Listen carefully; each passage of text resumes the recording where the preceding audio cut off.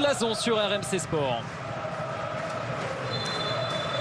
Ne pas gâcher les deux buts d'avance et s'offrir une quatrième aventure européenne d'affilée dans la nouvelle Europa Confédération. Retrait. Ah, il y avait une grosse densité de, de défenseurs norvégiens. La première incursion rennaise. Benjamin Bourigeau. Ah, il a belle passe appuyée. Il y a une position de jeu del Castillo. Oh, c'est c'est validé. C'est validé. Romain Del Castillo Et voilà Rennes, le début de match rêvé Oh, ça sent bon la qualif, ça y est Attention, qu'est-ce qui se passe? Ouais, alors ils sont pas d'accord évidemment, les Norvégiens, ça paraissait trop gros pour être vrai, mais le but de Romain Del Castillo semble validé. Alors Jérôme, on en parlait hein, tout à l'heure justement euh, avant le match en off par rapport à, ces- à ce troisième but hein, qui pourrait faire du bien. Ils ont marqué au bout de 5 minutes. Ça c'est vraiment une bonne solution. Regardez le déplacement de Del Castillo dans la surface de... Bah il n'y a pas hors-jeu, il n'y a pas hors-jeu. Eh ouais, effectivement, il n'y a pas hors-jeu. il y avait la couverture euh, de d'Offland notamment. Oui, et Del Castillo hein, qui fait sa- cet appel arrondi pour pas se mettre hors jeu au départ avec le, le contrôle raté de Guirassi hein, qui, a, qui a voulu contourner son, son adversaire direct. On l'a vu, on le voit. hein. Et euh, Del Castillo qui est juste derrière marque ce but en une, euh, en une attention. Il ne faut pas qu'on re- voilà, faut pas relâcher. Il y a 5 minutes.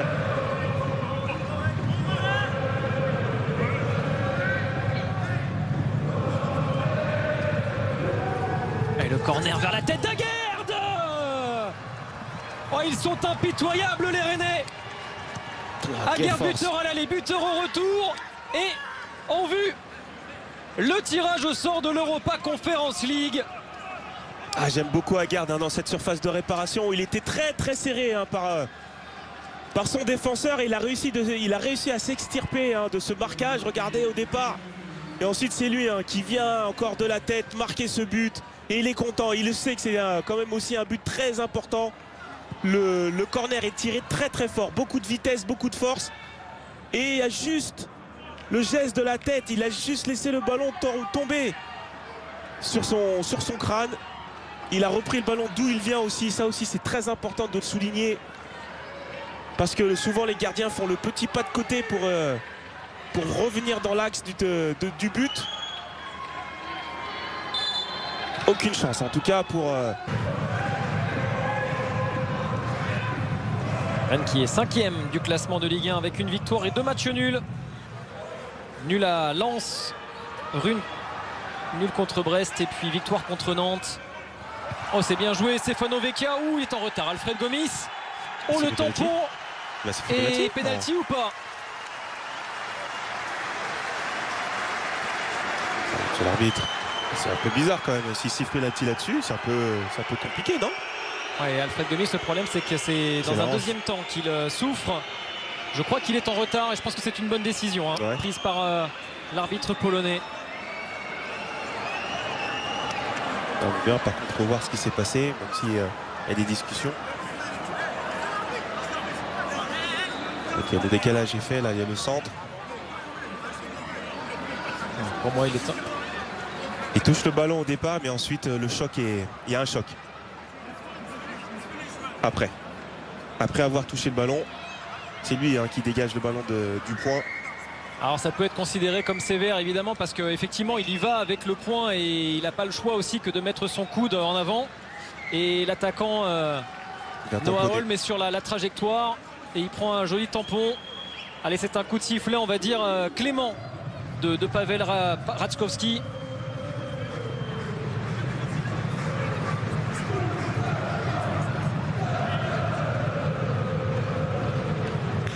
Stefano Vecchia va tirer ce penalty pour. euh,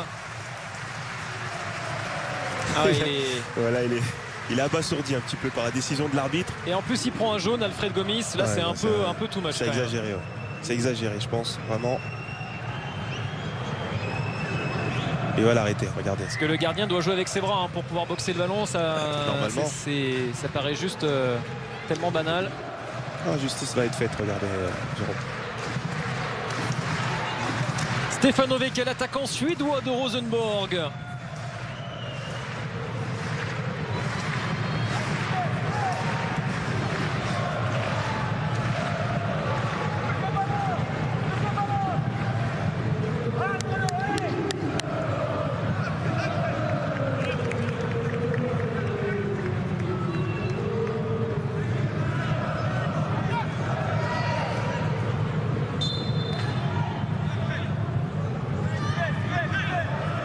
Stefano Vecchia.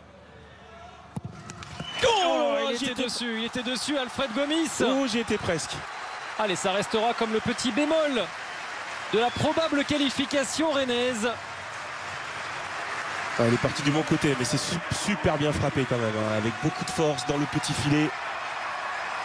Ouais, c'est dur, c'est dur pour euh, Alfred Gomis d'aller chercher ce ballon. Intérieur du pied fort, décidé. Alors évidemment, maintenant il il manque encore 3 buts hein. pour qu'il y ait la prolongation. Va falloir euh,